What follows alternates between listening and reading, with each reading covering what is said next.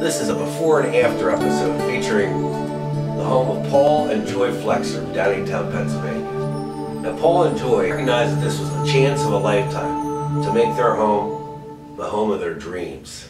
They took the time to become educated about all of their choices, including color and style of sidings and trim. And this is your chance of a lifetime to make your home the best it can be.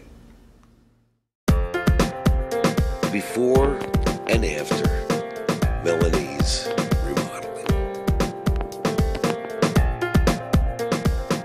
Paul and Joy Flexer knew that this was their chance of a lifetime to turn their house into the home of their dreams.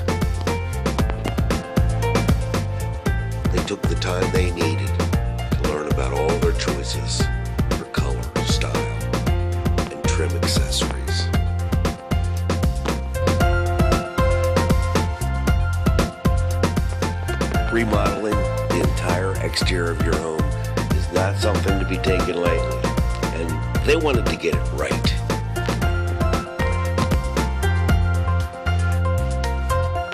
They wanted the authentic look of real wood, but they didn't want the maintenance. They found exactly what they were looking for. The authentic look classic cedar shake and clapboard siding in a maintenance-free vinyl from Milanese. They got a new front entry that they could be proud of, where they could greet their guests. A whole new look for their home.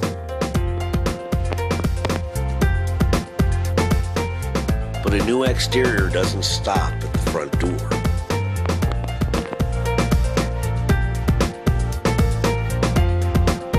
Now, they wanted their entire home to protected, insulated, and they wanted to add space to enjoy their backyard.